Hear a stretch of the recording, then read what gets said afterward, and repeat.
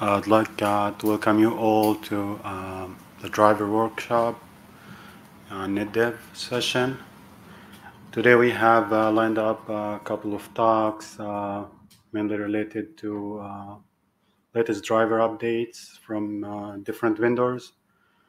I'll start from some performance update, performance related topics, um, and then gradually move on to uh, more scalability and uh, customizability sort of things. And we'll make a nice segue at the end to the OCP efforts um, to define a standard NIC.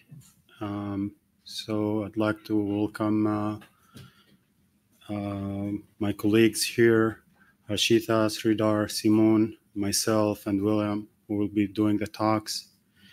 And uh, just a small update, Sridhar, you're gonna start first. Uh, is that okay? I'm gonna stop my Yeah. share and uh, you can take over. Okay, let me share.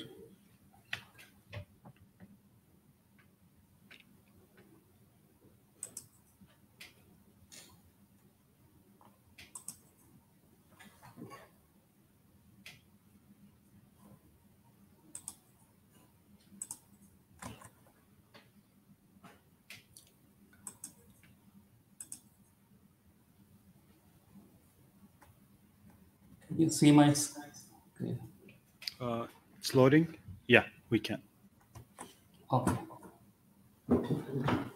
Okay, so today uh, I'm going to st- give a start with a brief recap of uh, uh, what ADQ is and the features that enable uh, acceleration of applications, uh, and then start uh, talk. I'll talk about a few enhancements that we are currently working on that will broaden the scope of ADQ and uh, to enable applications without any changes and also uh, accelerate applications that are running in containers and VMs. Okay. So going to the next slide. Yeah, so what is ADQ? So ADQ is basically a technology uh, that uses a combination of uh, hardware capabilities and uh, Linux networking software features to accelerate applications. And the, this is to enable uh, delivering predictability and and so that predictability by reducing the jitter and uh, improving the tail latencies. So those are the main uh, uh, fee- uh, main goals for ADQ. Okay, and how is this accomplished? This is accomplished using a set of features. So uh, I will listed the features that are already upstream today. So uh, the, the core feature is to split the device queues into multiple dedicated and isolated queue groups that can be assigned to an application.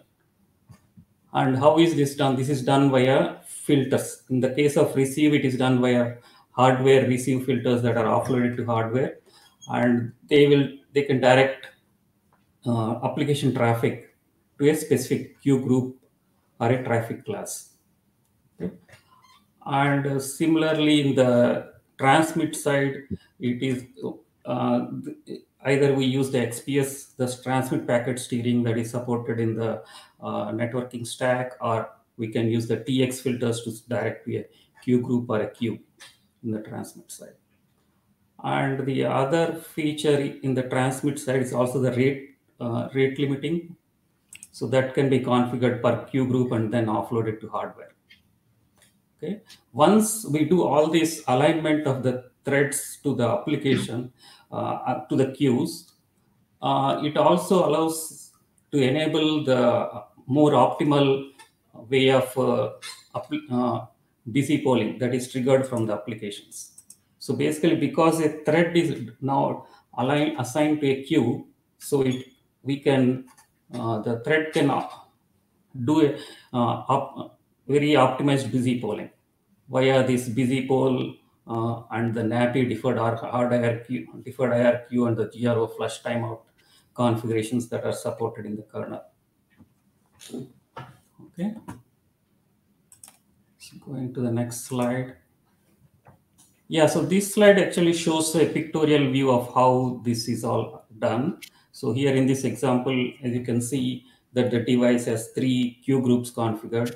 So the default uh, TC or the default queue group has two queues and the first application gets the next second, the next two queues and the third one, the application two has the four queues.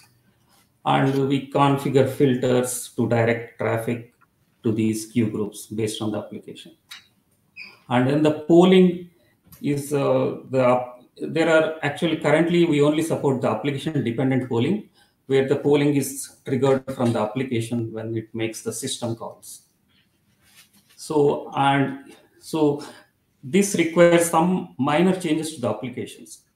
So so one concern that was raised was this this because of this requirement we cannot enable uh, all the applications or some applications it may not be easy to change so to address that uh, uh, requirement, actually we are introducing this application independent polling so that I will be talking later. So in the yeah, in the next few slides, I will just talk about uh, how to configure ADQ. Quickly, we'll go over this. So the first step is to uh, uh, create the queue groups. This is done via this uh, mqprio queuing discipline where you can create traffic classes. You can specify uh, number of traffic classes and the priority to the TC mapping for the transmit sites via this map, and then the queue groups configuration. The number of queues in each queue group can be specified via this queues parameter. Okay, and when this is off, when this is done, right, basically each queue group gets its own RSS context and uh, to be, in order to uh, for the application threads to be associated with a single queue uh, we can use the, this SO incoming NAPI ID socket option uh, for applications that use load balancing of incoming connections within the app.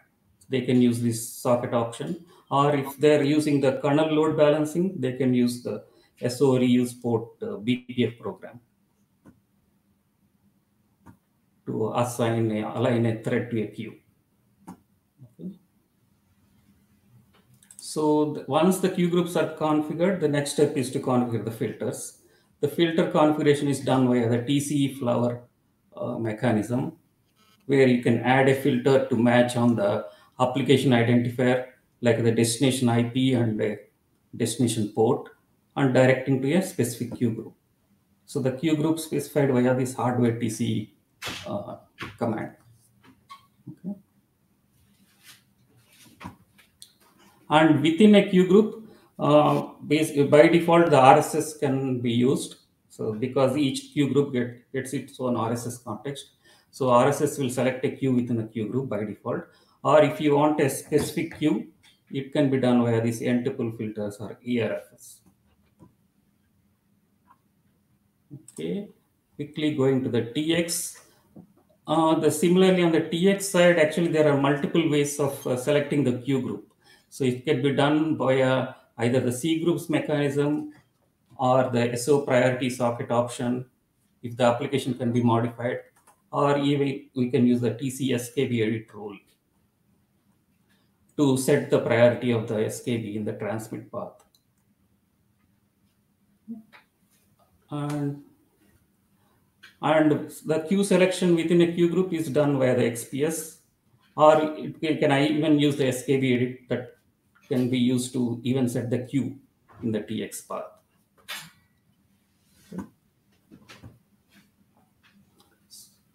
Okay, so this is all supported today in the upstream kernel. Now, I'm going to introduce a few new enhancements that we're currently uh, working on and in the plan of upstreaming. So there are three new features. The first one is the application independent busy polling, and we are calling them as independent pollers. And the second one is the hardware offloaded receive filters using the TC SKB edit action. So in the transmit side, we already support this using TC SKB edit queue mapping. We can select the TX queue. The same thing we are planning to do it in the receive side and this actually the patches for this is are already submitted upstream and Uh, it went through a couple of reviews and hopefully uh, they should get accepted soon. The third one is the inline flow steering. So this is to spread the receive flows evenly among the queues in a queue group. So today, if you are using RSS and if the number of flows are uh, not that many, so the, they may not be evenly spread among the queues. So this mechanism will allow the round robin scheduling of uh, selecting of the queues based on the new connections. Okay.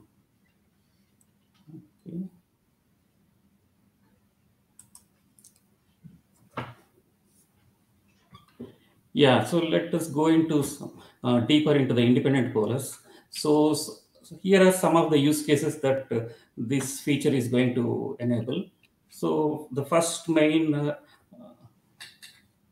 uh, application is the basically to uh, it will allow any application without any changes. So because the polling is not triggered from the application, so we don't need the app thread to alignment to a device queue. So, but and the busy polling is actually triggered via the interrupts and uh, it is independent from the application. That is one use case. And also it allows any application running in the uh, within a container. For example, in a Kubernetes deployment, uh, application running in, in, a pod that is using vEth as an interface can also be accelerated using this mechanism. And similarly, even uh, VM uh, applications running in the VMs that are using the virtio-net interface also can be accelerated. Okay, and let me show how this works. So, yeah, today basically the independent poller mechanism is built on the standard NAPI polling mechanism that is done to. Can you uh, maximize your screen? the slideshow. Yeah. Oh, okay. So just the text is uh, unreadable. Is it better? Uh, A bit. yeah, a little bit. If you can uh, improve the text size. Uh, this is the maximum. So is it only for this slide or are you seeing having the issue? Yeah, it's. Uh, I mean, it's fine. Should be fine. Okay. Yeah. Is it the small font? Yeah. If you can uh, just increase the size of the font from the PowerPoint.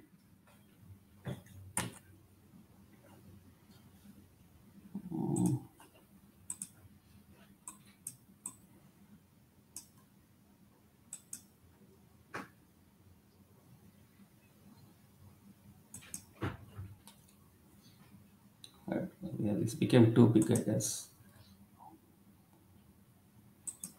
Uh, this should do it. Okay. Uh, let me start the slideshow again. Okay, so here in this example, again, we- this is the same, same example that I showed earlier. So we have the, uh, we're focusing on the, the blue queue group. So it has four, uh, four queues and assigned to an application that is using four threads. In the normal case, each thread will be assigned to a specific queue, aligned to a queue, and the thread will initiate the busy polling.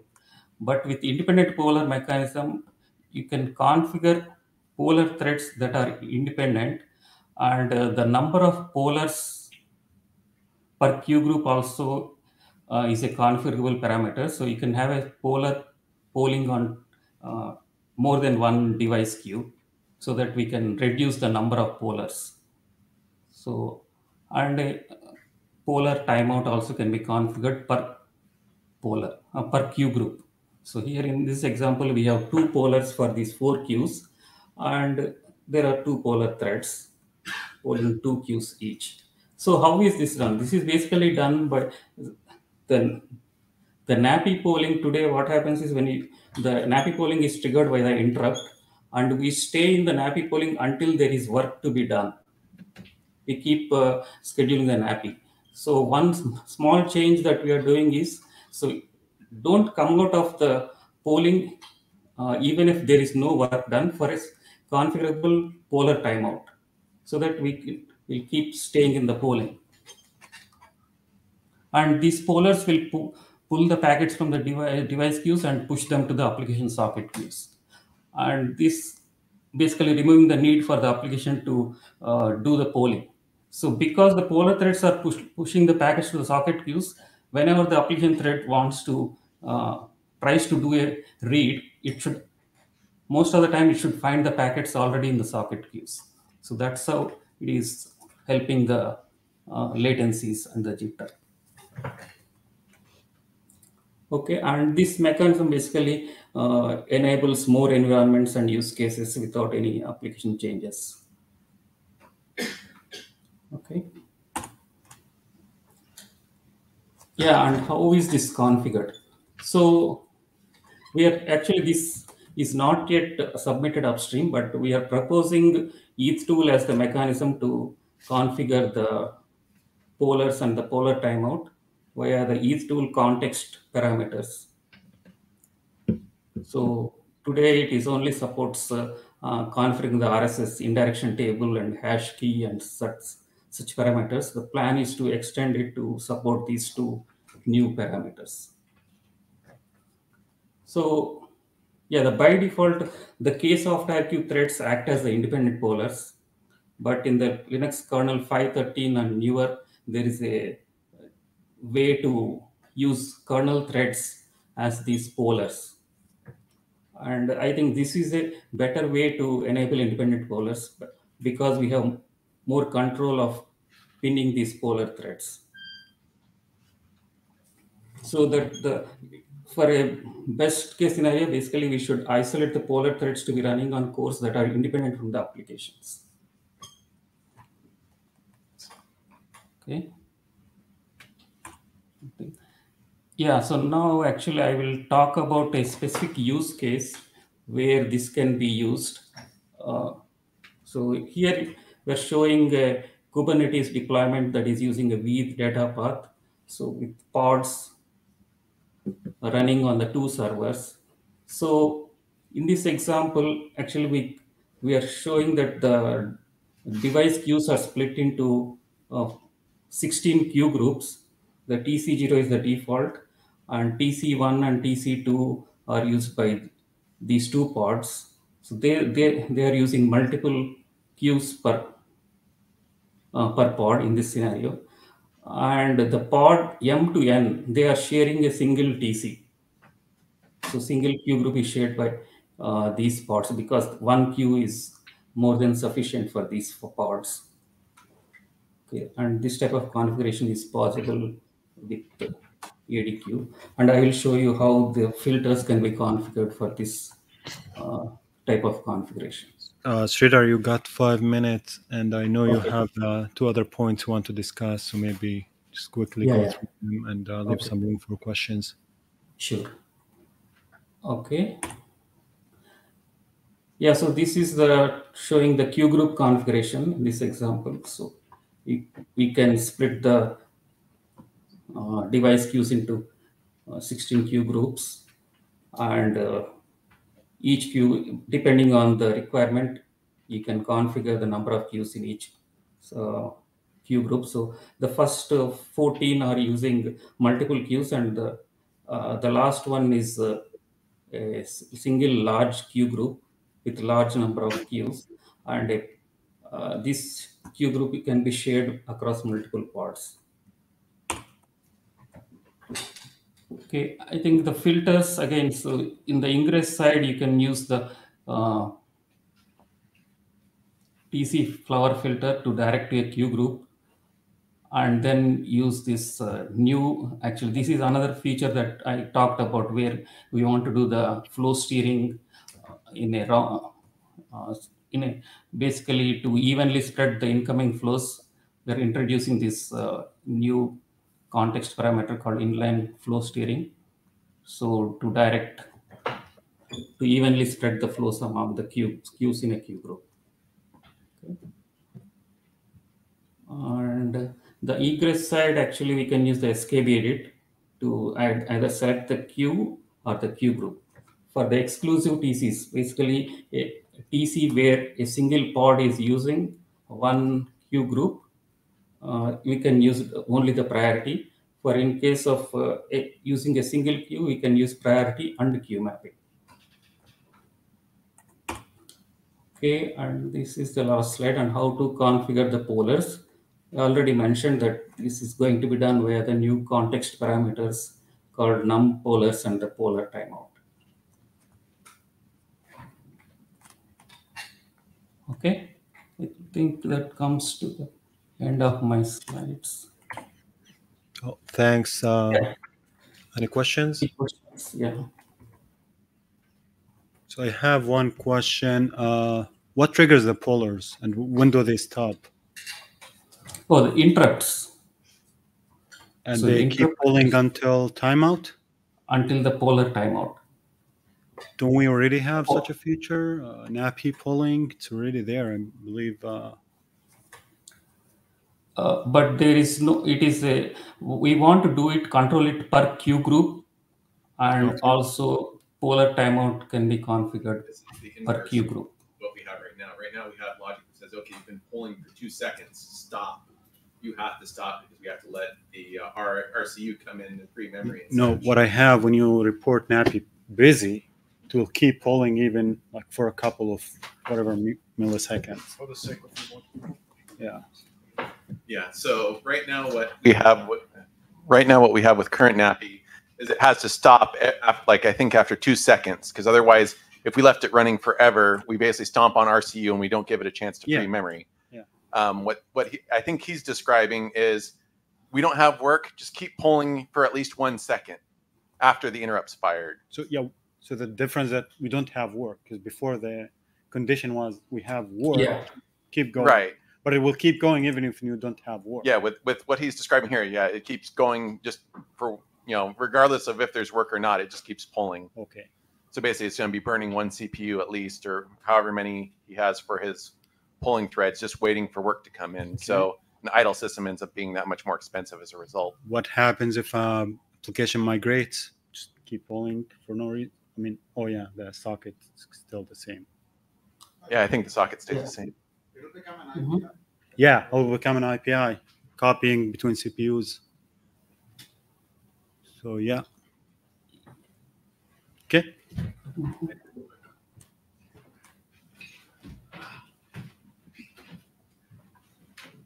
So for the Kubernetes case, why not use subfunctions and give it a device? Oh, yeah. So that, that is, if it is possible to use the subfunction request is passing the subfunction netdev to the pod, right? So today, most of the deployments use veth as the pod interface. So yeah, that that is a different way, another way of uh, Right, accelerating that Kubernetes. in. I know it takes time to put in the subfunction code to get container systems to start using it, but that seems a Mhm. better long-term solution. And that's actually kind of what they're using, but in the back end anyway. You mentioned DSI, and that's a subfunction. But Yeah. there's a in infrastructure as well, where you have Right. dedicated network and Use the mic, this remote. I A turned it off. Jesus. Yeah, and the subfunctions actually require the infrastructure to be offloaded to the IPU. Those type there, I think it would help. Where if the con- if the so data path, the routing and the tunneling, if it has to be done in software, then uh, that may not be feasible. Yeah, I mean, uh, Sridhar, we are going to support both though, right? Like we have this Yeah. ADQ setup and we are also supporting the sub functions if that is ideal for some scenarios. So, and that's true for uh, the ICE driver as well as the upcoming drivers. Yes. Yeah. Okay. Okay. Stop, I'm stopping the sharing. So the question is, how do you plan to orchestrate this configuration? Because the TC filters in there, they were matching on destination IP address from the pods, and then you are allocating queues for them, right? So who Mhm. would be mapping these? Oh, who who is orchestrating? Yes, actually, uh, there is a Kubernetes device plugin that is being developed to enable this orchestration. Actually, that is already available for our out of tree driver implementation.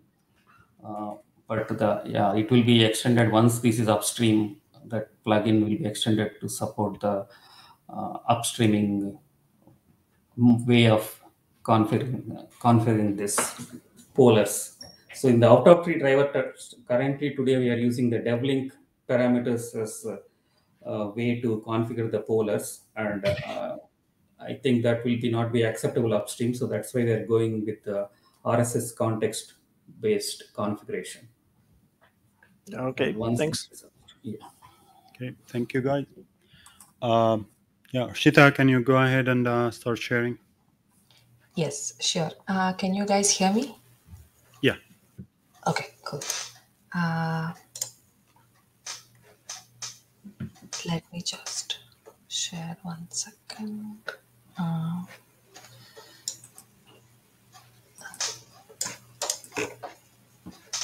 um, sorry, give me one second.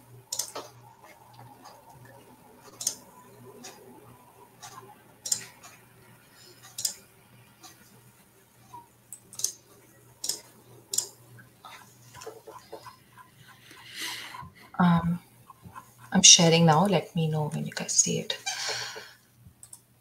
Yeah, it's coming. Yeah, we can see. Okay, cool. Um, hi, um, I'm Harshita Ramamurthy. Uh, my colleague Jake Keller is also on this presentation. Um, sorry, did you guys say something? I just said hello. Oh, hi. Yeah, this is Jake. Um, so uh, our presentation today is going to be talking about uh, implementing um, a relatively recent uh, virtualization technology called Scalable IOV for the ICE Ethernet driver. Um, we don't have a lot of slides, uh, so we're going to be mostly uh, we want to present what the what we're doing and then sort of leave a lot of time for like feedback and discussion because we have a few proposals uh, that we want to get feedback on. Um, so this is the agenda. Um, so I'm going to give a quick uh, introduction on Scalable IOV as a whole for people who don't know, and uh, talk about the ICE driver refactor we did in preparation for um, also accommodating Scalable IOV on top of uh, single root IOV. And then Jake is going to talk about like the interesting stuff of like uh, what are the proposals we have. Um, and um, just to use a good slide, um, I basically took this off of one of my colleagues, um, but this is the overview of the Intel Scalable IOV um, uh, specification.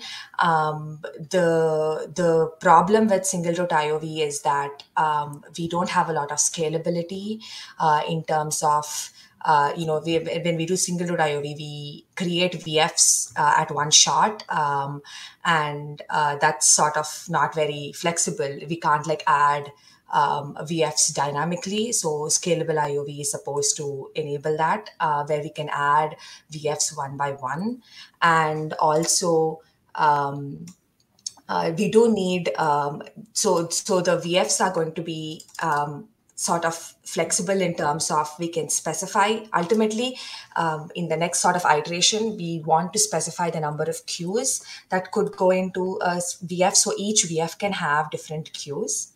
Um, so there is uh, i think we know like hardware assist uh, hardware assigned devices like single root iov and then we also have like software um, uh, uh, created uh, VFs, uh, but a scalable IOV sort of takes the best things of the both uh, of both approaches, where we do have like a hardware um, isolation presented in the um, uh, uh, presented by the platform, um, and they and and these VFs are going to be um, isolated by something called PASID.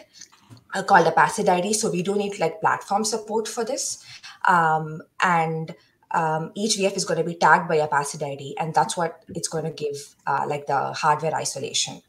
Um, the, on the software side, we do need something called um, we, we need a software resource remapping logic as indicated here in the uh, slide, uh, but that could be anything that could be spec- uh, specific to the device itself. Uh, that is doing scalable IOV. But basically, what that does is it acts as um, the it, it maybe emulates the PCI config space um, and uh, it allows the uh, driver or the VM to sort of talk to the hardware um, in by uh, splitting up the uh, resources in the hardware.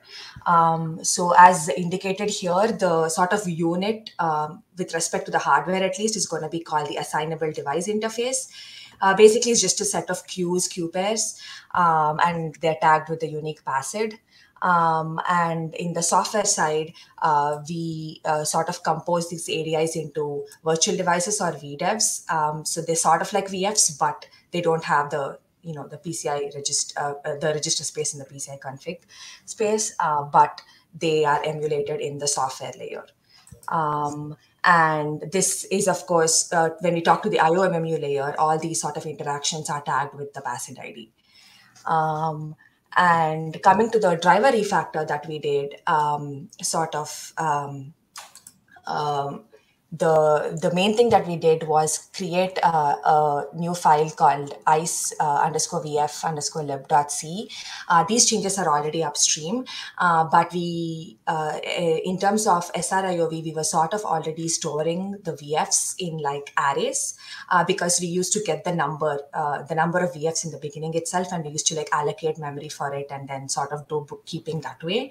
But for this, since we are going to add VFs one by one, we had to convert the bookkeeping keeping to like a, a hash table. And um, uh, each um, and uh, we also um, made it dynamic that way. And uh, we also introduced a struct called ice underscore vf underscore ops which basically um, uh, differentiates the different operations that we want to do uh, on single tote uh, VFs and scalable VFs. So basically, uh, commonized uh, virtualization code in the ICE driver as much as possible, and uh, then um, just the differences were handled through these ops. Um, so I think th- those are the main like bare bone things that we did, um, and on top of this, um, we are going to build the actual like uh, scalable IOV functionality itself. And uh, Jake is going to talk about that now. Yeah. So as Harshita was saying, with single root, we create the VFs all at once, and they're part of the PCI spec, and they come with a bunch of baggage around the PCI configuration space and uh, things like that.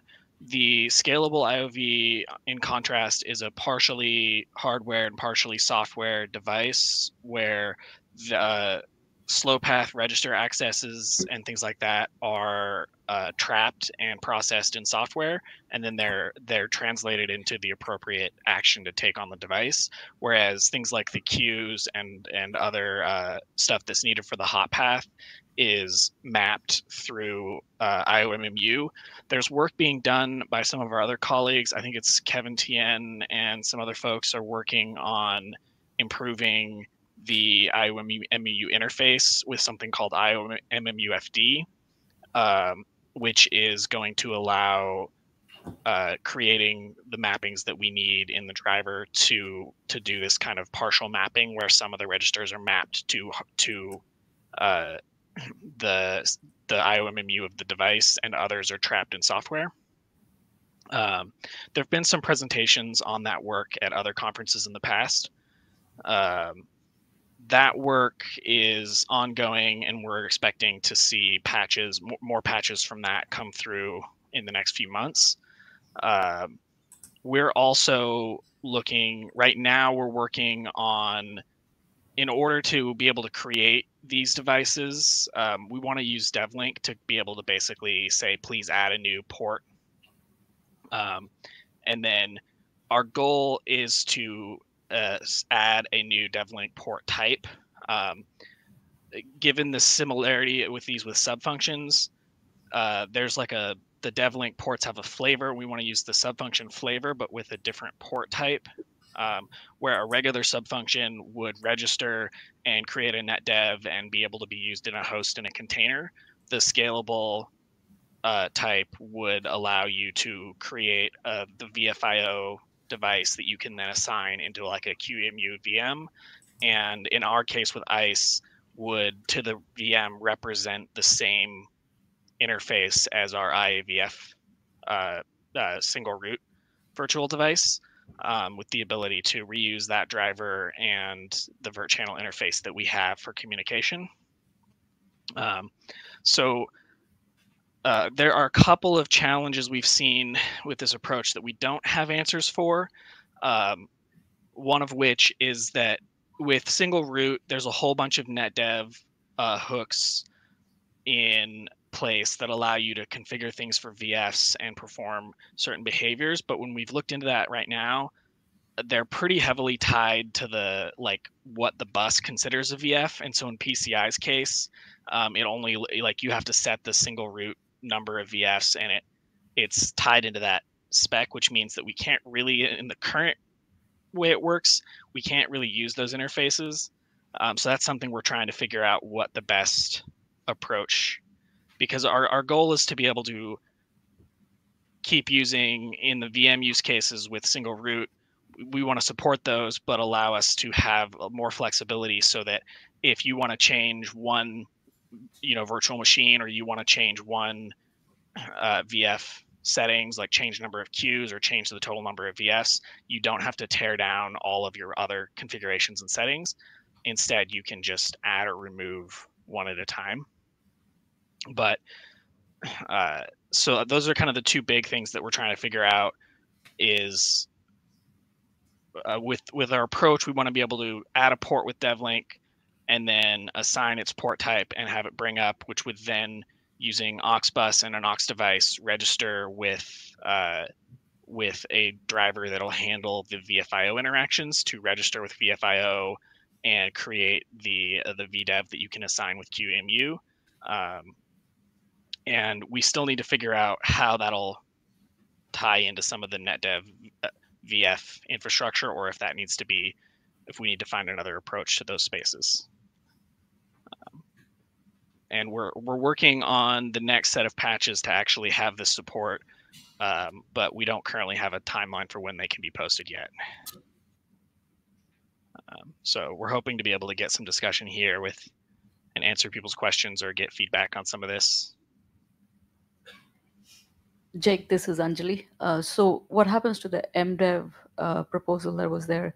Do you still Um, have to create the MDev on the SysFS side, or no? Right. So historically, we we have been working on on an approach using MDev, um, but the kernel interfaces to work with that got removed because there were no drivers using it, and communities uh, moved towards uh, the VFIO with IOM MMUFD. And with the new approach, when you create a devlink port and assign the port type and, and, and activate it, it will then communicate with what we're calling VDCM, which is the, the auxiliary driver that manages this. And that driver will register a new VFIO device automatically without needing to perform. So the only the only interaction to, to add and bring the device up will be the uh, through devlink, and then you'll get a device object that you can assign to QEMU. Um, and we do have support currently for the MDev approach in or out of tree, but given that it only works on old kernels, um, our long-term plan is to abandon that support once we once we get a workable solution in the upstream kernel.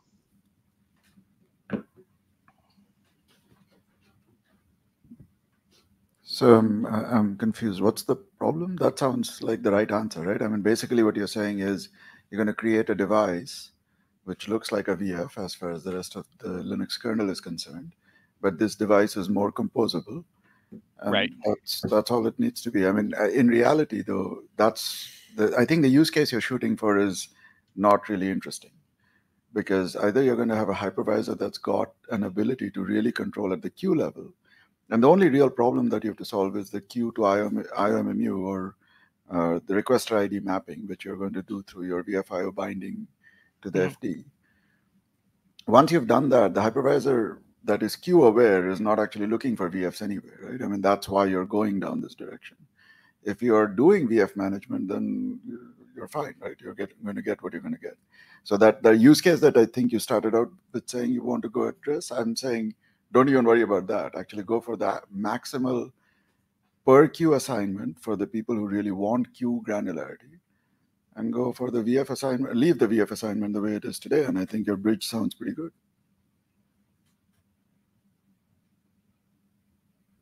Anybody disagree? It's uh, Yeah, I'm looking reasonable. Yeah, it's reasonable. I mean, Not uh, sure I clear device. quite follow that exactly, but uh, Yeah. No, no, he didn't understand. So, sure. You use a lot of buzzwords. Yeah. Okay. So, uh, which part, which buzzword do you want to unpack?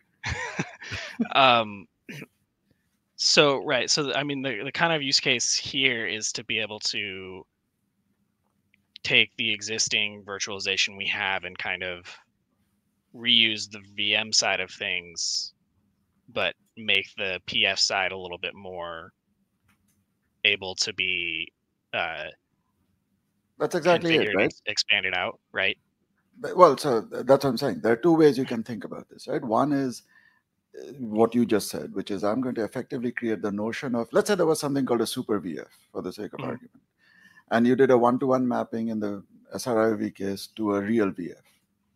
And in the case that you're going to run with SIOV, you could basically construct the VF that you want and assign it to the super VF because the underlying VF is not really a PCI construct, it's whatever you wanted it to be. And Right. these queues are just grouped by their IOMMU key, the requester ID, right? That's the only real grouping they have.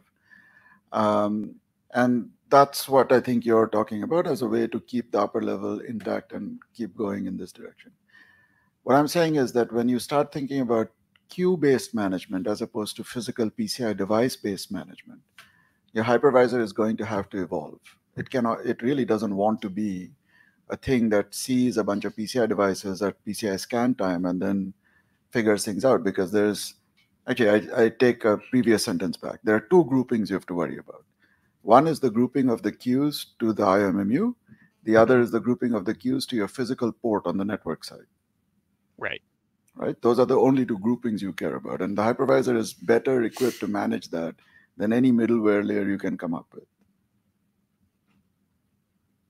I'll pause for that sentence and see if people agree with that. Because if that's if you agree with that, then trying to build a middleware translation library doesn't make any sense. Why not just go from uh, DevLink port directly to VFIO and uh, Yeah, yeah, that's what I'm saying. Yeah. Don't have a middleware of Yeah. any kind of grouping. It doesn't make sense because the hypervisor is yeah, is cleverer it makes than you, sense yeah. to me. uh, Yeah, that was all I had to say. yeah. So, uh, any more questions?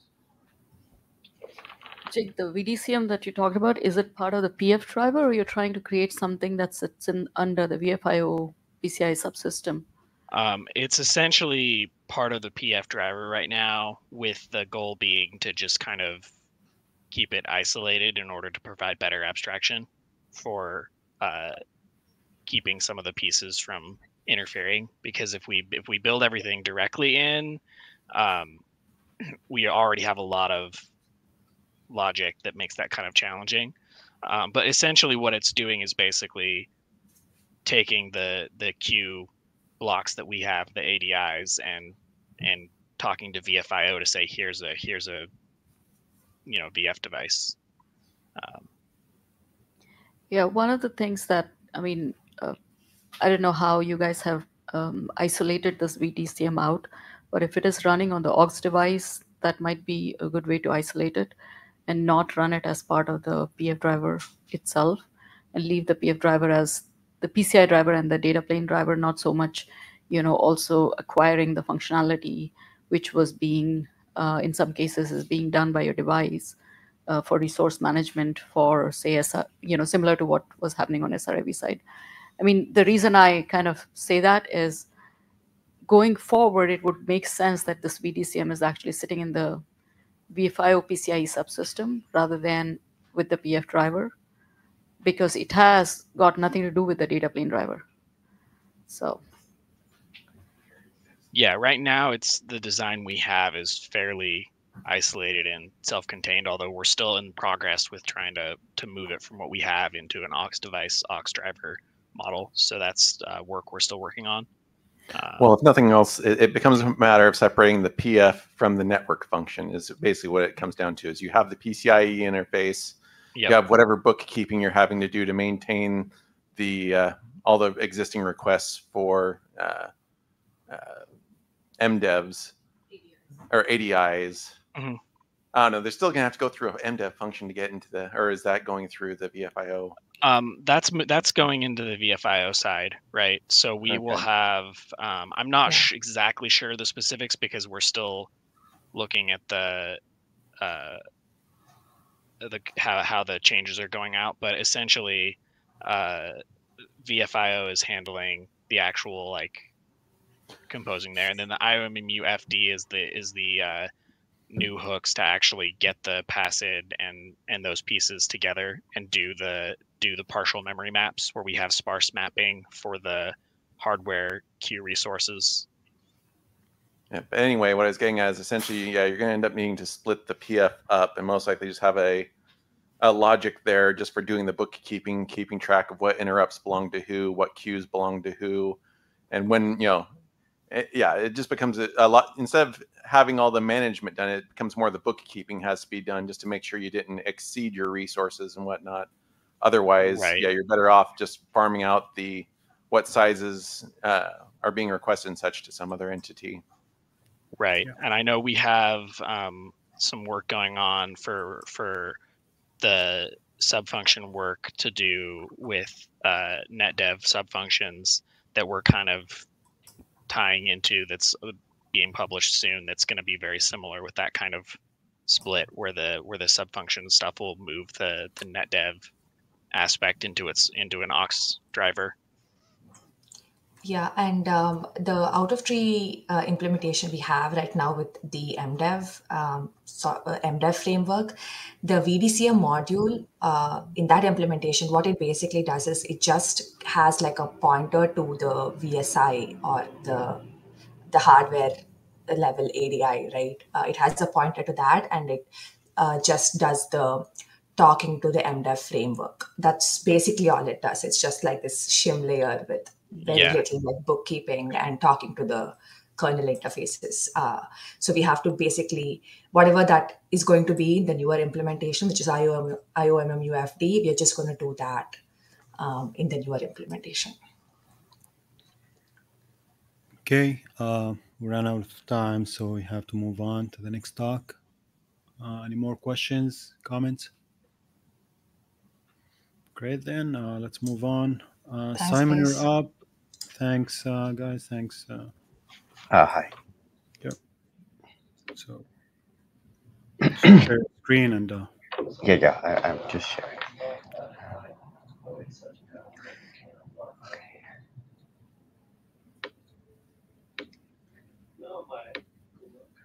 Okay, do you do you see it? yeah. Okay.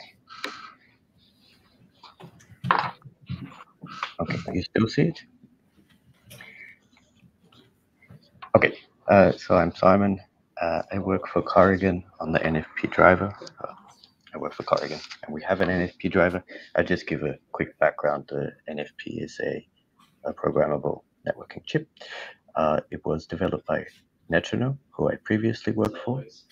The current development of both the chip and the driver are mainly driven by Corigine these days. Okay, so my topic will be not quite as in-depth as uh, as the other ones, but uh, let's get going. Um, so I just wanted to to cover some recent developments in the driver, which might be of interest to the group. Um, so there's going to be, be be two main topics, which is the support for the new chip, and then the flexible VFQ assignment, which which actually is somehow related to the previous topics. I hope we can get a little bit discussion on that, and then just briefly some other recent highlights. Uh, so one of the most significant changes we've made to the driver the last year is to add uh, support for a new chip. Uh, so uh, this, this chip is designed for 10G and 25G use cases, typically uh, dual port. Um, it's a successor to the chip that was previously exclusively supported by the driver, which is the, the 6000, the 4000, which are, are closely related to each other. Uh, the 3800 is in the same family. It has many of the same features. It has uh, several improvements. Uh, it is a lower end chip. It has uh, fewer processing units, but because of the improvements, it, it is actually uh, quite high performance. Um, so on the driver side, uh, the main changes, there are many changes, but the main changes is firstly the abstraction to allow uh, the driver to support various different uh, aspects of a chip because it, the chip this, this, chip is different to the previous ones. For example, register layouts and so on. Uh, that was not so complicated. Um, and then the, the really the biggest change is we have what we call a data path. This, this is a very heavily overloaded term, but what this means is a way that the NIC and the host communicate with each other over the PCIe bus. These are different. Um, so we now have two. We have uh, the old one, which is called NFD3. Of course, there was NFD1 and 2, but that was never part of the driver. And NFDK, where K, uh, the, the internal code name for the chip, relates to K. Um, and the, major change there is that uh, on TX we can use multiple descriptors, uh, which is obviously leads to, to some performance uh, improvements. Uh, the status of this is, is it is upstream, um, and mostly the feature coverage is the same for, for all of these chips now, which is nice. Both the NFDK and the NFD3 versions support the same features, and so for, for both types of chips. And this has been the case since 518. Okay, so the next topic, uh, which is the one I was hoping there will be some discussion on. Uh, so we just had a presentation from Intel about SRV. Uh, this is also about SRV, but we are not trying to create a, a, new, more flexible type of SRV, although I think that is an excellent idea. Uh, we, we just want to make the current uh, SRV a bit, little bit more configurable. And in particular, what we would like to do is to be able to configure uh, at the time or just before the VFs are instantiated how many uh, queues will be assigned to each VF, but not in a simple way where, well, in a simple way, but rather than being able to just say each queue, sorry, each uh, VF will have four queues, for example, or eight queues or whatever, um, we would like to say something like, you know, we would like two VFs with 16 queues and four VFs with eight queues and all the other VFs to have four queues or, or whatever. Uh, probably in powers of two because that makes sense, but not necessarily. So uh, we, we have this working. Uh, we posted a patch set uh, recently, I think it was last week. Um, and in this, we used a generic devlink interface. So the patch was not written by me, but it was my idea. So you can blame me for that.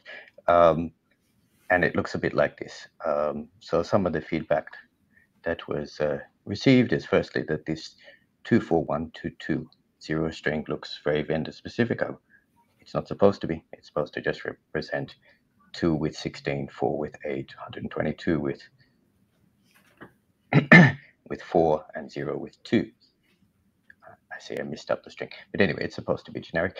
Um, but it is cryptic. We can agree on that. So Jakub uh, who's one of the NetDev maintainers, suggests using the DevLink resource API. And then I noticed that Saeed mentioned uh, within the last 24 hours using uh, the DevLink port API. Then I noticed there was some more conversation on the mailing list after I finalized my slides, going back and forwards on that. But it seems to me that sort of the crux of this discussion is, is sort of what is um, what is the granularity of the resource? So, so clearly the number of queues is a port property in one sense, but in another sense, it's a higher level property because, for example, there's only a certain number of uh, queues available for the device. Um, and also, probably this, well, at least in the case of, of our hardware, we need to know this before the VFs are instantiated. And so that makes it difficult to use the DevLink port API. So actually, maybe I take a break now. So, so you, do you do you have any feedback on this? Yeah. So DevLink port API should be used when the VF is still unbound to the VM. That's the whole point of it. So you yep. can uh, configure it before you actually uh, So I think, that, yeah, so I think we would certainly do it before. Uh, binding the VF? Bind it, bind it. But it, I think the, the issue from our side, if I understood my, my developer, is we need to know before we instantiate it on the card. Uh, Okay. Then this is not the API. So yeah, so in that Yeah. case, I think perhaps the, the resource API makes more sense because it's a chip-wide thing. Uh, Yeah, in both cases, chip wide. But I think uh, relating back to the SIV and uh, all the uh, sub-function talks, it's eventually going to be needed to have some sort of controllability and uh, configurability for these dynamic functions to be controlled in a single spot where it's not the like a resource API. It should be API specific for these functions. And uh, I know here you have some hardware limitation, but I, I think you should try to reconsider, see if you can do something in your firmware device Yep. Uh, where you can support it dynamically, these changes, even uh, when the VF is unbound. okay, I can. Uh, yeah, I can't answer that question. I'm sorry, but I can certainly talk to the developers Yeah. and see if that's possible. Uh, So we already have today, like I think two, three parameters in the port function. I mean, this is the way you set the hardware address, uh, MAC address for uh, v- the VF. Yep. So yeah, should look into that. Okay, okay, I will. I will uh, we will talk about this more at the, main. Yeah. Thank you. Okay, so this will be a quick presentation. Uh, the last slide is, is, is quite brief. Uh, so just some other things we have or, or are working on. Um, so IPsec hardware offload, this was posted in the 6.1 timeframe. Uh, there was a few problems with it. Um, and uh, we're, we're brushing that up. Uh, I, I expect to post that again soon.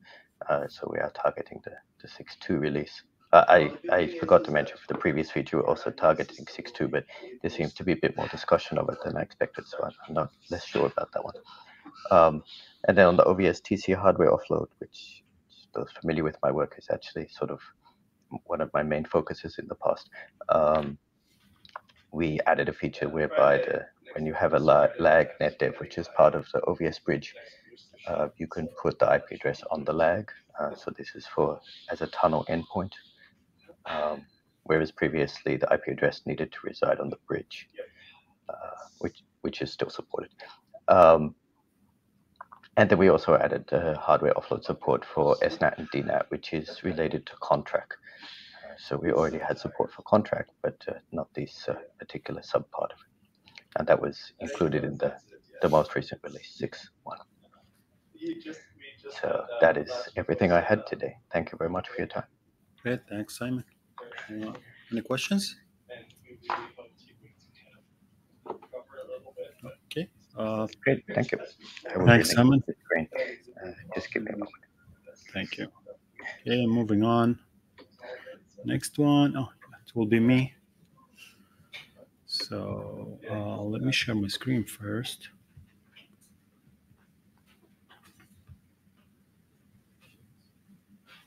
Say, are there any questions? I asked already. Oh, no, we don't like. Oh, sorry, yeah. Any questions online? So yeah, how do you envision configuring your individual devices, e.g. VF configs through PF's NetDev using IP? Uh, do you mean here IP route? I think that's what it is. You can, you can put on the screen. Okay, it's it's not. Uh, yeah. Uh, what?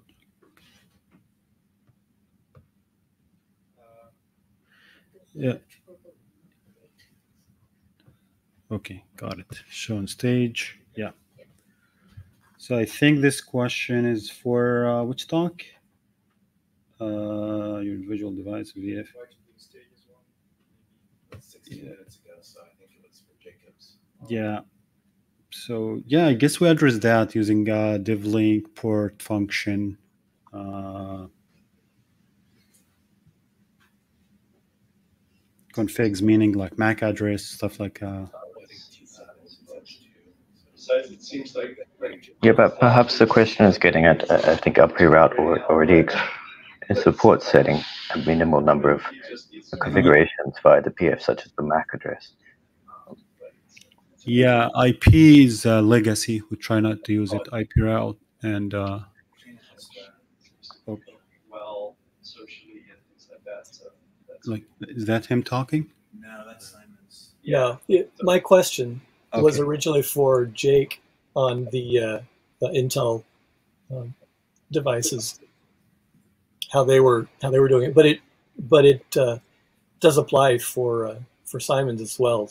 How how do we want to be configuring these devices? How do we want to set up the configuration before we instantiate the device? So yeah, ideally, as we as I suggested, as we already have in uh, in Mellanox devices, where before you bind the VF, you just uh, do the devlink uh, port command, and you have attributes uh, for that port. I'm not there yet. But Yeah, the the DevLink interface has a nice way to you can add you can add a port and then you can configure it and then and then there's a follow up stage to actually activate and it's not until the activate stage that you would actually like bind the VF to anything or or whatnot and so that's the same place we're investigating to do this as well. So I think we're kind of aligned on that.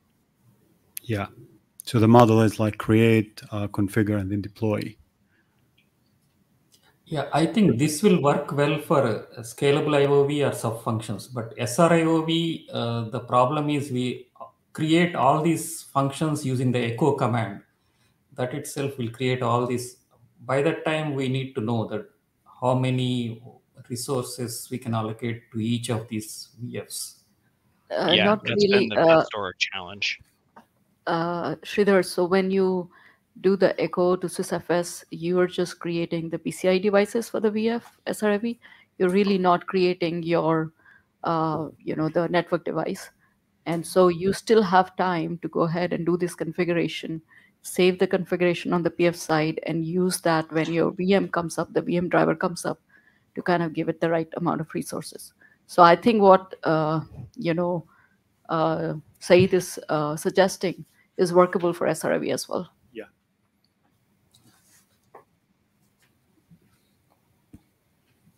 Yeah. Yeah, we need to look at it. Uh, yeah. would that use the PCI uh, VF flavor uh, to talk to the SRIOV VF? Anjali, is that what you're suggesting?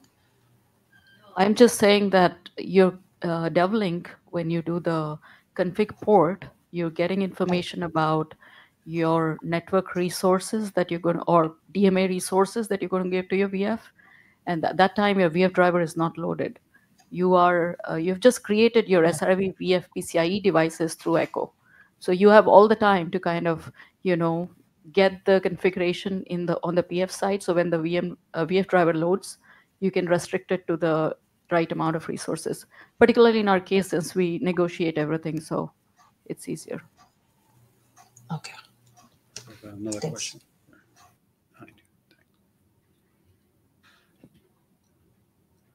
Uh, possibly a crazy idea, but potentially could you not create uh, devlink port objects based on SRIOV total VFs instead of SRIOV num VFs, so that then you can have them all configured before you echo to SRIOV num VFs?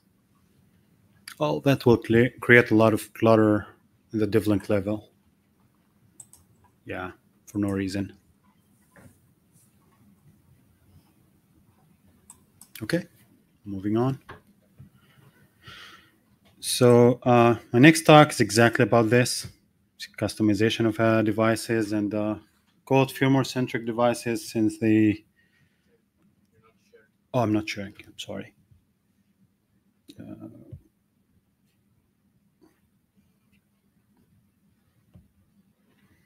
actually, I was. Oh, you need to close the question. Uh, okay, got it, got it, got it.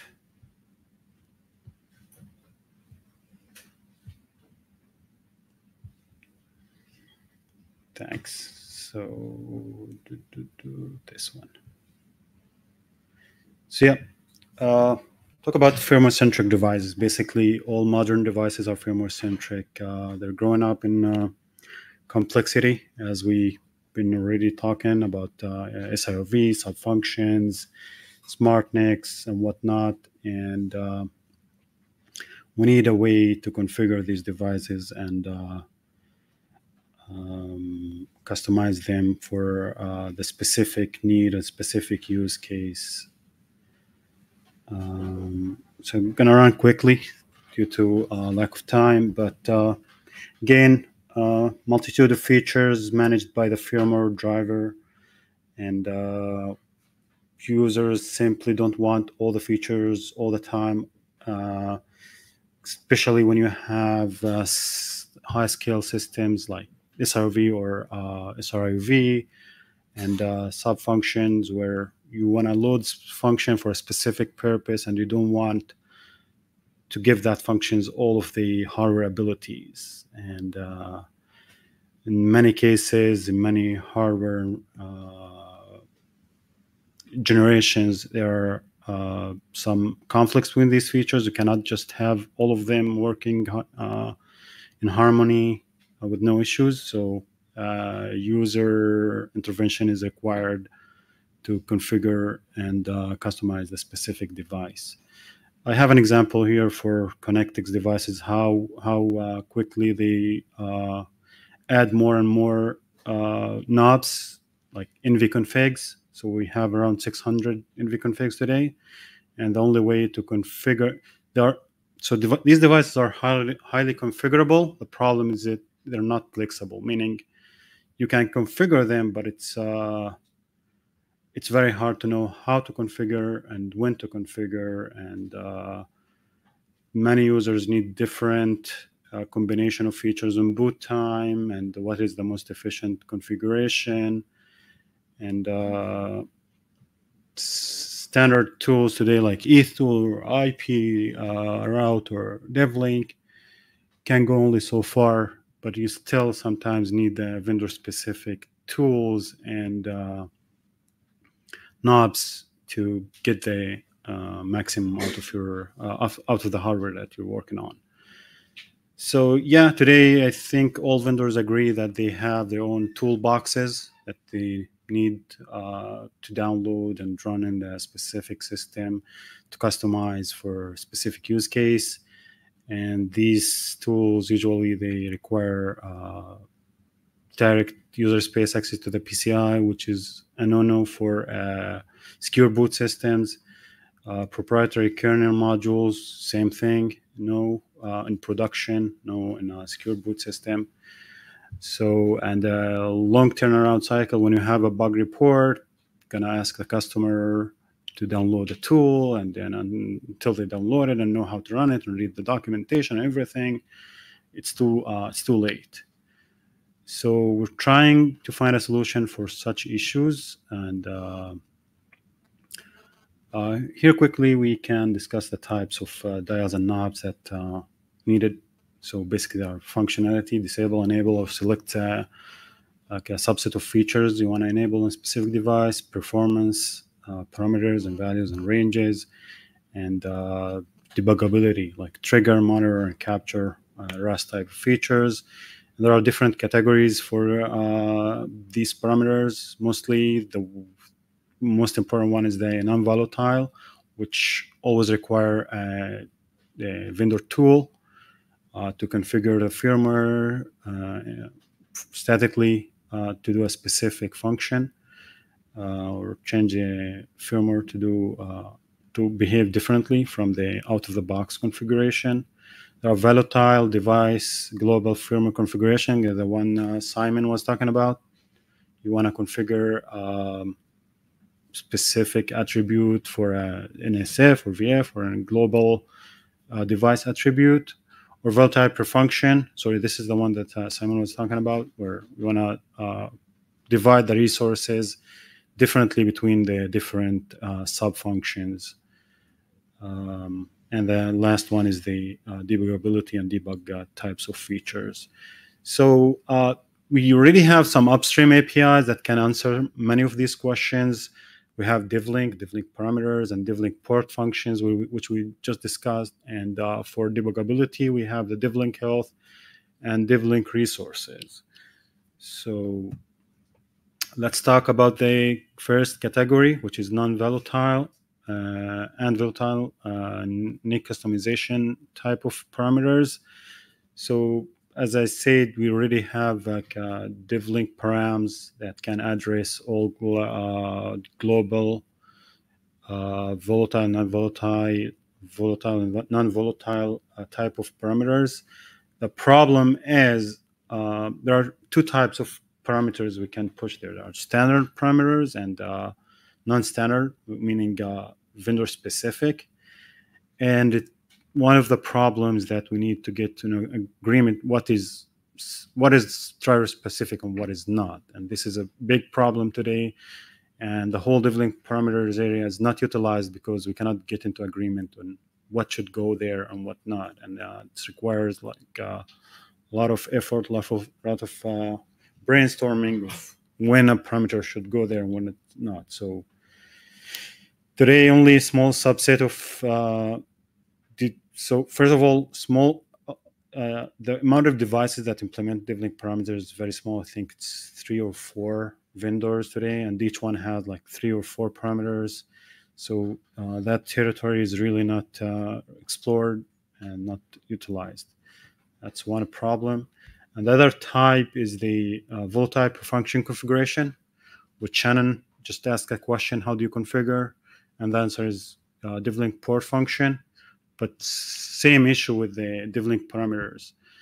Uh, it's hard to agree what is a standard parameter, what's not. So I highly recommend all other vendors to come into. Uh, I mean, I don't know. Uh, let's uh, sit down and decide what should go there, what not. And I, I highly recommend that we all agree that uh, non-standard uh, and vendor-specific parameters should belong to DevLink params and per function params. So even if you have like you can set the queue length, set the queue size, divide the MSIX vectors and everything. Sometimes you still have some vendor specific features that you want to turn on and off on a specific uh, function. Uh, RAS features. So we have many tools. Again, not explored territory. Uh, I recommend all vendors to go ahead and uh, look at it, implement whatever they can implement. Uh, it's highly recommended. Uh, the problem is that we can uh, today we implement in NVIDIA many of those. The problem it's not standardized, meaning not all vendors implement this. So it's hard to go to the customer saying, "Hey, this is the standard. You should use it. You should." Uh, uh, invest some time to develop it in your deployment uh, environment, but they say no, other vendors they don't use it, so we're we're not gonna go this route. Um, uh, another idea is to have vendor extensions where you don't so every time you need to add a, debuggability feature or a new knob, you'll have to um, upgrade the kernel, which is usually uh, something that is not uh, welcome and you need to wait a couple of years until the uh, this specific kernels land in all the distros to get the knob or the configurability configurability options so your users can use it. So many approaches they use a vendor extension where they define a standard like NVMe CLI has a standard and you can plug in uh, some use uh, vendor specific modules that will extend the functionality of NVMe CLI. So this is something that we should explore. Maybe we can uh, add some, uh, do some extensions to DevLink, so we will have similar um, mechanism. And uh, that's it. So to summarize, uh, today, even with all the options and uh, DevLink uh, stuff that I just explored. We're still not there. Um, and also there's an, some embargo in DevLink parameters. As I explained, every time we push up parameters, someone says, no, this is not standard. This doesn't belong here or there. And um, I, am very sure that kernel admins, developers, testers, and uh, also vendors, they will be happy to have such approach in the kernel where you don't need to download any uh, external tools just to experiment with some specific feature uh, in the hardware. So that's it. Uh, any questions?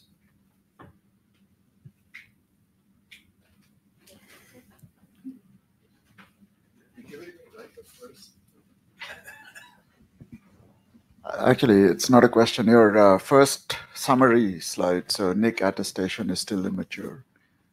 Do expand. And, uh, and maybe I'll set up the IDPF conversation already. What happens in the multi-host case? Like NIC attestation is a real problem. Your Yeah. firmware thing also is a real problem. If I have four hosts, this problem gets Yeah, much but worse. let's talk about one host, which is where we have a problem. no, I'm, today. I'm already setting it up for the next.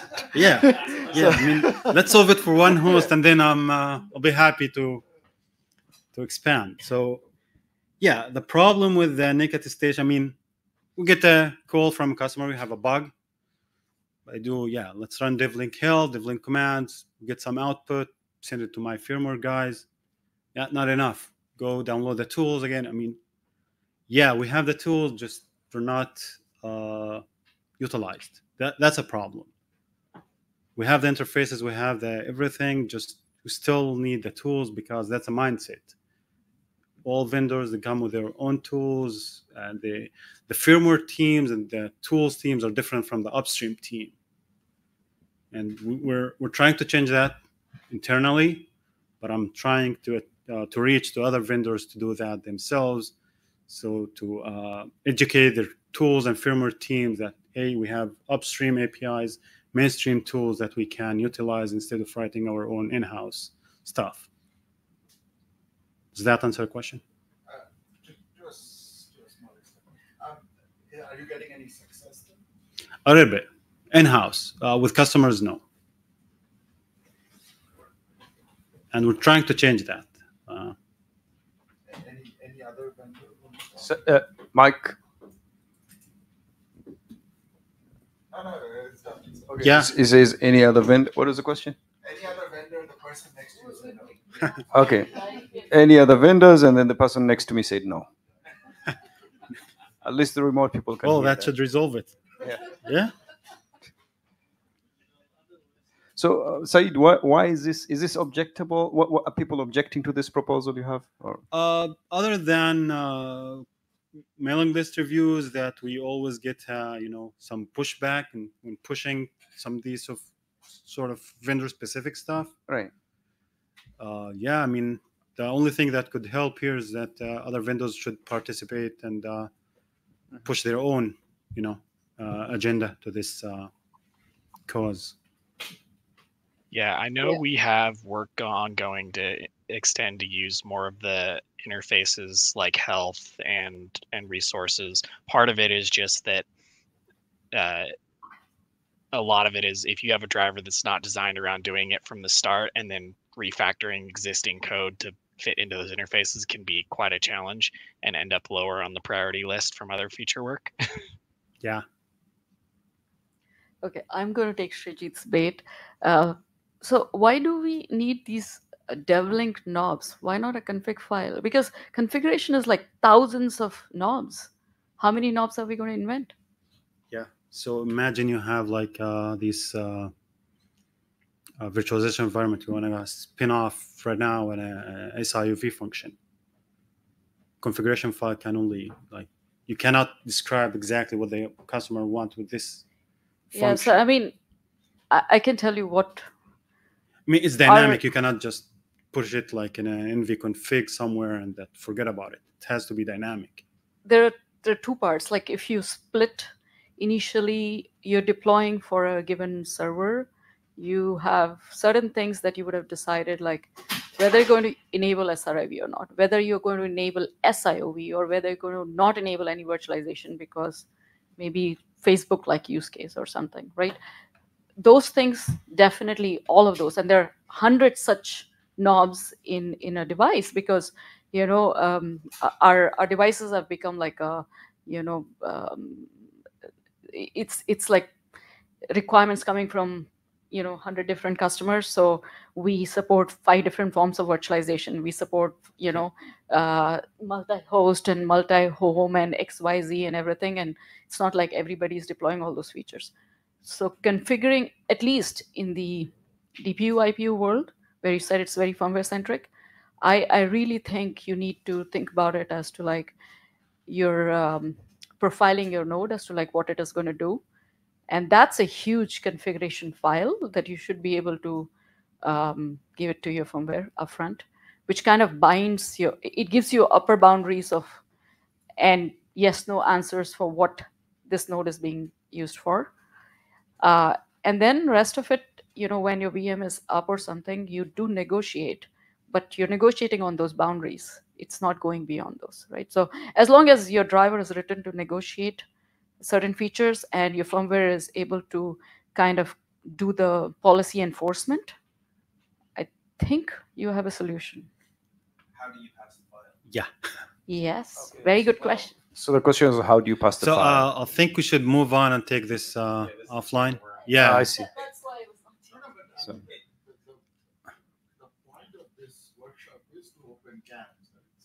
all right. So the to the remote listeners, the question, the comment was, it's a can of worms, and then somebody says, the point of the workshop is to open that can of worms.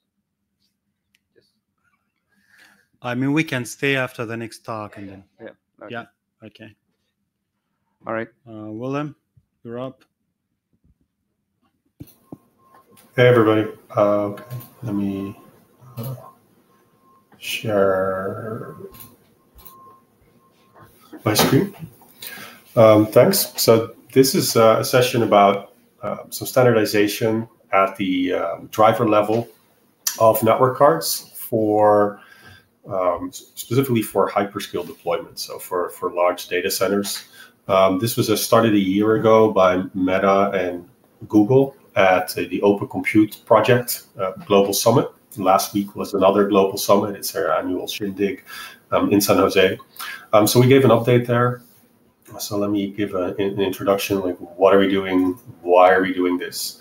Um, so first, um, what are we doing? So it's really an opportunity for um, hyperscale providers to share with uh, vendors what is it that we need from network cards and um, to, to come up with a, a shared understanding of, of the feature set. Um, purely sort of selfishly, uh, I've been at Google for quite a while I've seen multiple generations of network cards from various vendors. And um, integrating each individual network card is always a whole new process where uh, we have to qualify the network card that it behaves the way we want it. Um, we have one-on-one conversations with vendors um, on, on what we need under NDA. This is um, fairly slow and, and, and painful. Um, so we'd like to avoid that. I think it's better for the whole ecosystem. Um, to, to, to share an understanding of our workloads and to basically codify how these things really are expected to work. Um, so initially we're focusing on what's known as the, um, sort of the core features, the things you expect a, a server grade network card to have. So stateless offloads, checksum offload, um, segmentation offload. Uh, tunneling is a feature that's you know widely used in um, hyperscale deployments for when you host untrusted virtual users or when um, handling uh, untrusted packets coming from the public internet. There's additional a lot of nested tunneling um, and a combination of things like um, you know IPv4 to IPv6 translation, um, untrusted user traffic, um, some kind of hop by hop routing, MPLS tags. So um, for on the tunneling part specifically, um, uh, what I think is relevant to these workloads is that we're like a, a, closed world, so we don't have to play by the rules of the public internet, and, and thus we don't. So a lot of these protocols can be either custom protocols or just custom variants, um, and I'll get to why this is relevant. Um, and then maybe the lowest of low-hanging fruits is telemetry. At our scale, um, at this scale, we need uh, distributed automated monitoring, which you know at the bottom plugs into the counters of a device.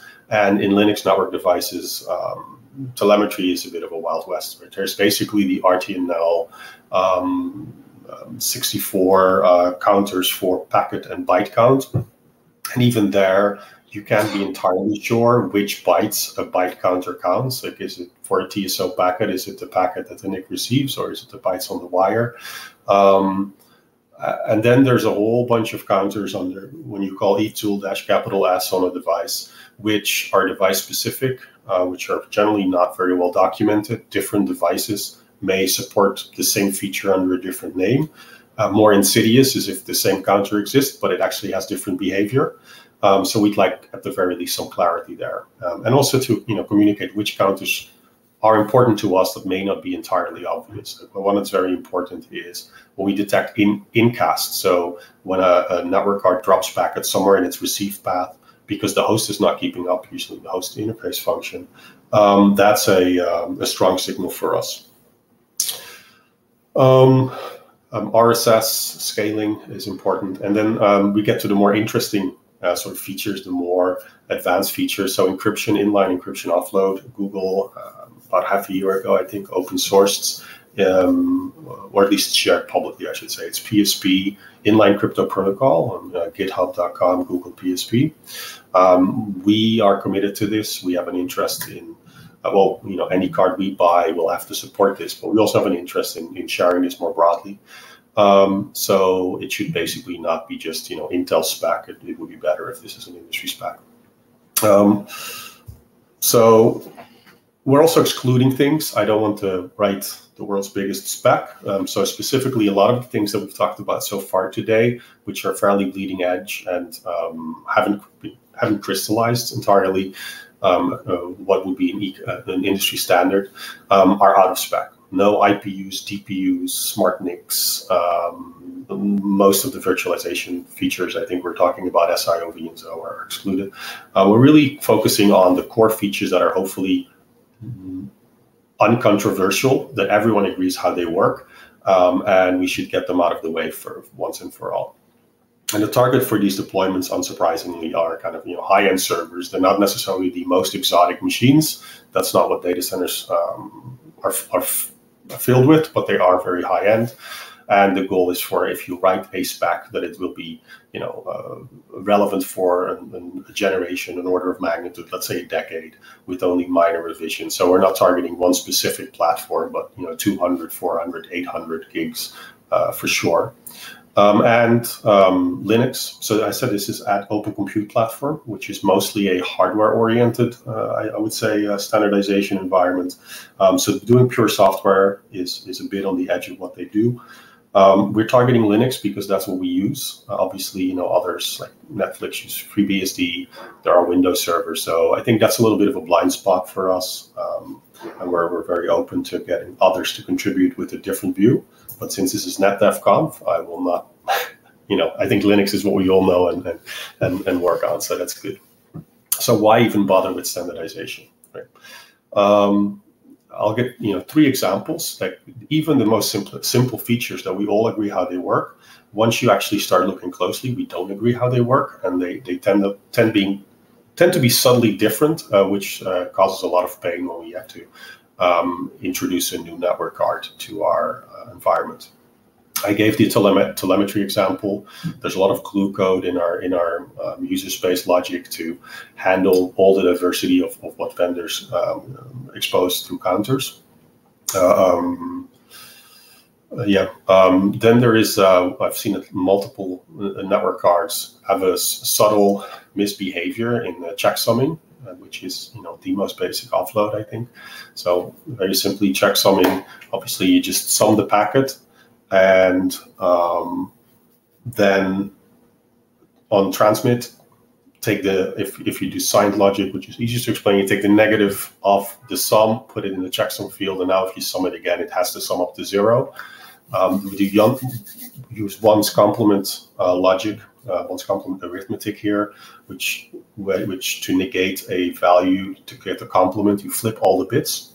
The corollary of this is that every uh, number has a um, a, a uh, complement, including zero. So there's a positive zero and a negative zero. And in TCP, these are essentially equivalent. So uh, zero and FFFF are the same.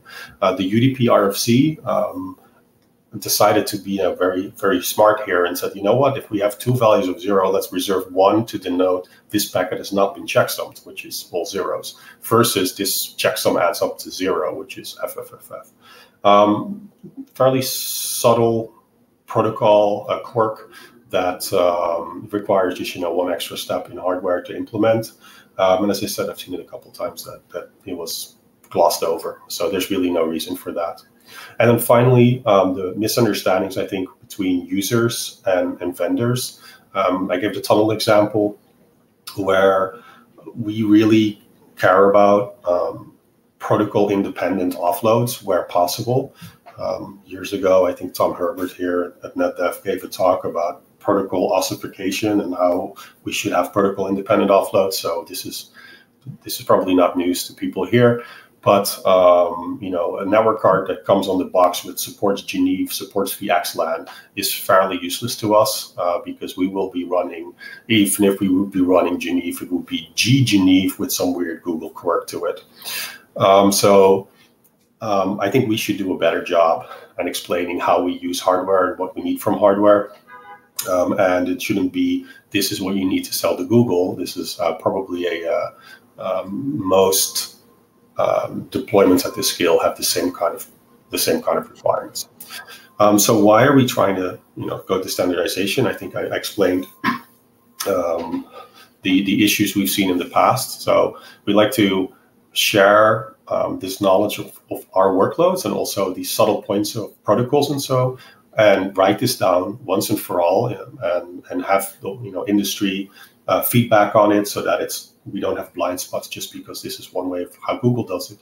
Um, to get to this common understanding um, free from NDAs. So instead of having these one-on-one conversations between every pair of potential user and vendor uh, for every generation of NIC under NDA, um, let's just say, okay, this is how the basics of a network card should work.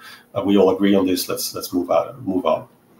And this move on is, is a key part of this. Instead of having the same conversations over and over again. Um, I think we all would like to focus on exciting new efforts. And uh, last but not least, we're not only trying to write a, a spec, just a document, um, but um, have this spec point to how to test for conformance for certain features and have these tests publicly available. So um, we've um, upstreamed a bunch of Google's internal NIC conformance tests. They're under tools testing, self-test.net. Um, and uh, this way, um, we hope to sort of build a, an industry conformance test suite. Like the first tests that we upstreamed are, are nowhere near, you know, complete or perfect. Uh, that's not the point, but at least uh, uh, it's a starting point, and it allows us to uh, to work with the vendor and say, hey, this feature isn't working out the way we expect. Can you run this this exact test and, and see if you can reproduce it? I've, found in the past myself that without such a shared um, test, it's very hard to uh, to debug on both sides of, of two organizations. Um, so we're focusing on the core features and um, I'll also introduce one of the slightly more advanced features. I think that this is all uh, well known to the NetDev community, uh, so I'll be pretty brief here.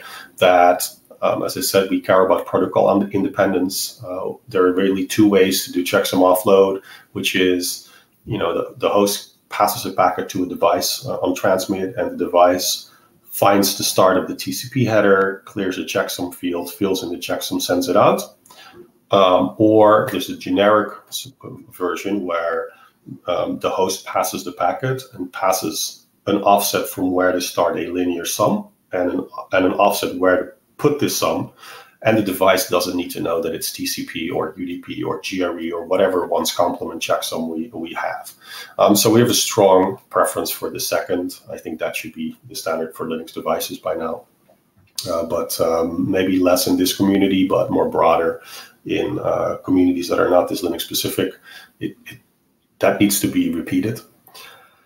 Um, and one feature that um, is uh, in, in um, the kernel documentation, local checksum offload, makes use of this feature that if if you know that once a packet goes out, the inner sum is hardware offloaded, then by definition, the in, inner bytes will sum up to zero.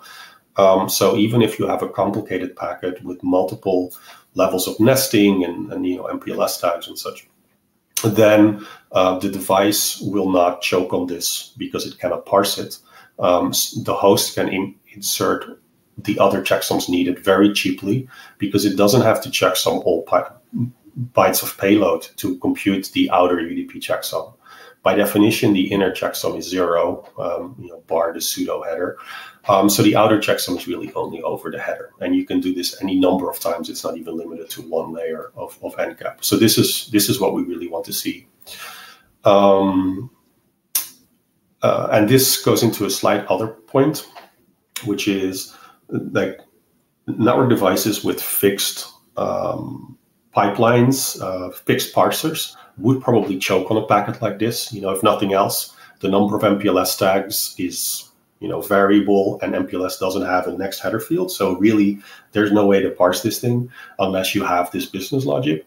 But um, a programmable uh, parser allows an administrator to basically update the parser on the NIC and now the NIC can parse the packet that the host just built. You know that is still strictly worse than a protocol in, independent um, implementation. And the reason for this is it leads to correlated rollouts. Like if if we want to roll out a new version of a protocol, of an encapsulation protocol, then we first have to roll out a new version of the firmware to all the machines in our fleet, which is a relatively slow process if you want to do this safely. Um, and then the new feature, and if something goes wrong, we have to roll back. We have correlated roll roll outs and rollbacks, and it's slow and it's painful and it's error prone. Um, so you know, smarts in that sense are actually worse than not needing smarts at all. Um, slightly more uh, advanced topic, which um, I think is very topical right now, is, is using time, using a precision time protocol, so operations at the microsecond scale or potentially you know hundreds of nanosecond scale. This um, is reasonably well supported by network cards like Linux PTP the software API, and so is very, I think, very mature as SO timestamping. Um, the only thing I really want to add here is that um, the offload of hardware timestamping to um, timestamp a packet the moment it arrives at the network card at the PHY, and also timestamp the moment it leaves as close to the PHY as possible is uh, is I think often implemented specifically for PTP packets, which are you know happen relatively slowly, and maybe a couple of hundreds or so a second. So um, what we really want is to have this capability of hardware timestamps with well-defined behavior, like where is this packet timestamped in the hardware um, at line rate. So if we have a 200 million packets per second NIC, we want to be able to see 200 million packets per second bidirectional timestamping. And, and the reason for this is that timestamping increasingly is used in, by advanced um, congestion control algorithms, uh, like BBR Swift uh, is one example of this, uh, which use these uh, hardware timestamp to more accurately uh, compute the um, network delay, the propagation time, and use that for TCP to um, to you know get a fair share of, of the of the bandwidth of the network. Um, one small point here is that where the timestamp is taken is very important. Um, we've seen at least one example where the transmit timestamp um, could be uh, taken um, when the completion is sent to the host. Um, but if there was PCI Express back pressure, this completion is actually delayed until well after the packet was sent on the wire. So it was sort of a worst case estimate, but it was actually at the tail, it was not a good uh, representation of uh, transmission time. So there are a lot of details to get right there as well.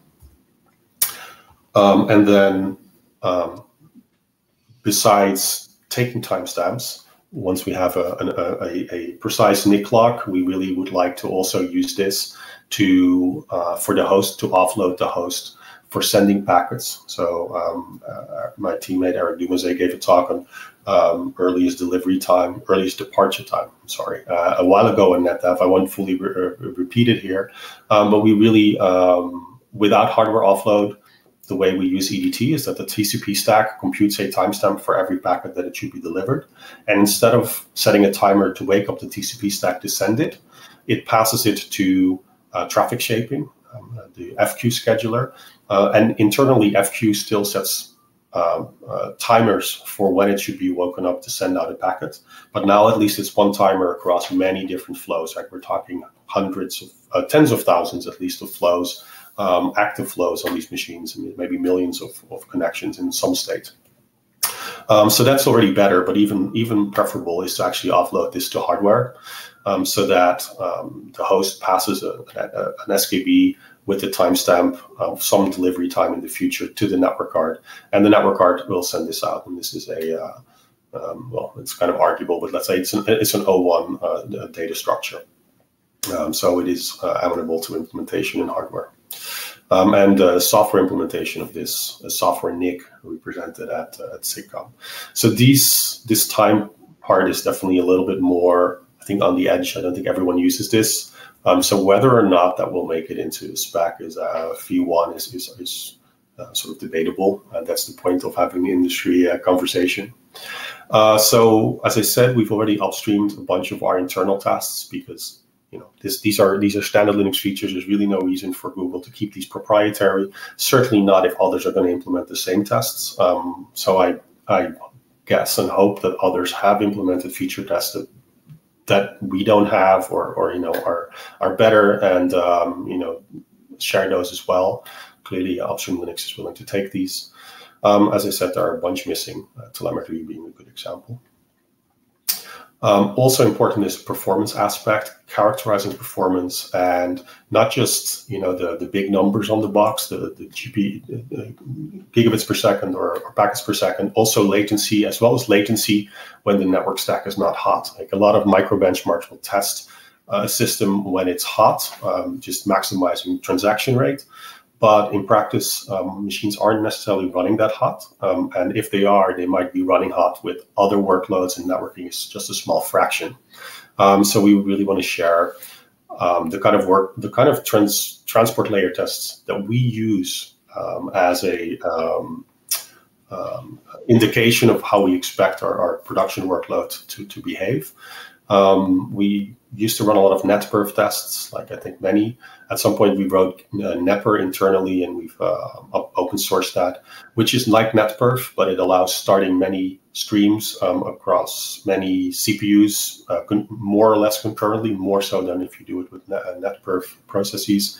Um, aggregate the results, use epoll, um, and we basically run a matrix of neper tests um, as I show here, um, between multiple flows, multiple threads. And one thing we also care a lot about is that the performance numbers that we observe are relatively stable across these metrics, right? So if a, if a NIC um, advertises 200 million packets per second, it can only do it with eight queues. And if you uh, create 32 queues, performance craters, um, we don't want to see that because we actually have different platforms and we have different um, workloads and we might configure the system in different ways. Uh, but at the very least, we want to know this, um, so we want to have these regression tests at, uh, at the transport layer.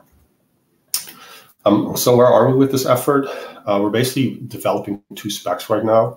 The, the core features uh, that I gave the example in release, you know, segmentation offload, checksum offload, receive offload, um, and potentially we will go into these things like um, using uh, hardware timestamping, um, that's kind of up for debate. And concurrently, there's this inline crypto offload uh, spec, which is definitely more advanced, uh, but very topical. And you know, people really care about that and, and, and don't want to wait. So I think that's fine. The effort here is uh, we need basically an editor to, to champion an effort.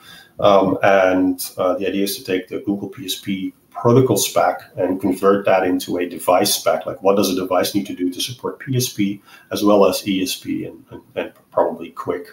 Um, because a lot of the hardware features are actually the same uh, for all of them. Um, then um, want to you know invite everyone uh, to to contribute if you're whether you represent an organization that has a large deployment of, of cards or um, are a vendor um, the OCP model is that everyone who contributes who actually to the writing uh, signs a contributor license agreement um, when and the spec is essentially shared only between the organizations and the people writing for a while. Um, so that's one option. Then, uh, at least for the initial spec, our goal is really to share it with the community in like three to six months, get community feedback, even if you you know don't uh, sign the CLA to get your feedback involved, um, and then um, uh, with that feedback, basically publish a, v, a V1. Um, you can also um, champion other efforts, uh, particularly. I want to point this out: these don't have to be specs um, written as a, from a clean slate. If there's something like the Google PSP spec, if you have an internal spec that you've shared um, under NDA, but maybe or one-on-one at least, that um, is a good starting point for standardizing. Um, these have to be fairly non-controversial um, su suggestions that the whole industry you know, sees the value of. Um, then o the OCP is a is a potential good venue for doing this, um, and we can shepherd it through the uh, the NICs software effort within OCP networking. So there's a, a monthly call, there's a mailing list, um, and if you know, if, um, so that is it in a uh, in a nutshell. Um, our effort to to to come to a standard agreement standard understanding of uh, or shared understanding of, of what uh, we want from network cards at these speeds for these kind of deployments, um, and to uh, to standardize that through OCP. Are any questions? Any questions here online? I myself have many questions, but I know I'm going to be talking to you in the near future, so I'm going to hold off for now. Okay. Um, I think that's it. We can wrap up here. So thanks everybody for joining, and uh, see you next time. Thanks. Thank you. Thanks.